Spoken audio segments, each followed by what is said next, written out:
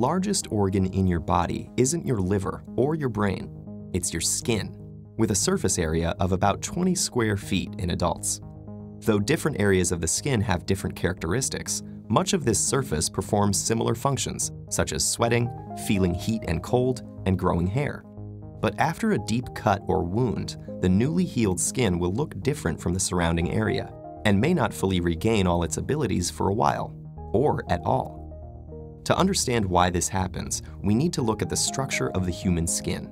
The top layer, called the epidermis, consists mostly of hardened cells, called keratinocytes, and provides protection. Since its outer layer is constantly being shed and renewed, it's pretty easy to repair. But sometimes a wound penetrates into the dermis, which contains blood vessels and the various glands and nerve endings that enable the skin's many functions. And when that happens, it triggers the four overlapping stages of the regenerative process. The first stage, hemostasis, is the skin's response to two immediate threats, that you're now losing blood and that the physical barrier of the epidermis has been compromised. As the blood vessels tighten to minimize the bleeding in a process known as vasoconstriction, both threats are averted by forming a blood clot. A special protein known as fibrin forms crosslinks on the top of the skin, preventing blood from flowing out and bacteria or pathogens from getting in.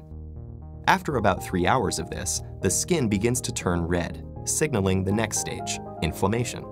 With bleeding under control and the barrier secured, the body sends special cells to fight any pathogens that may have gotten through.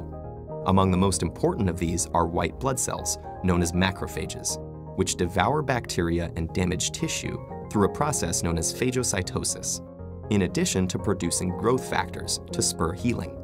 And because these tiny soldiers need to travel through the blood to get to the wound site, the previously constricted blood vessels now expand in a process called vasodilation. About two to three days after the wound, the proliferative stage occurs, when fibroblast cells begin to enter the wound. In the process of collagen deposition, they produce a fibrous protein called collagen in the wound site forming connective skin tissue to replace the fibrin from before. As epidermal cells divide to reform the outer layer of skin, the dermis contracts to close the wound.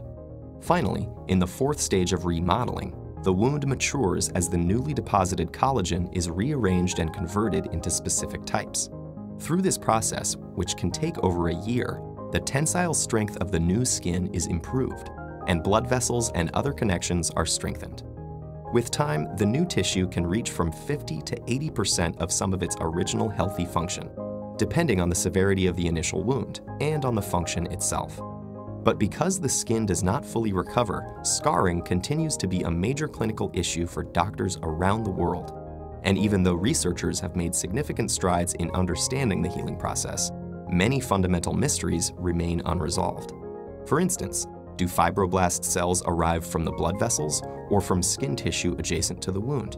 And why do some other mammals, such as deer, heal their wounds much more efficiently and completely than humans?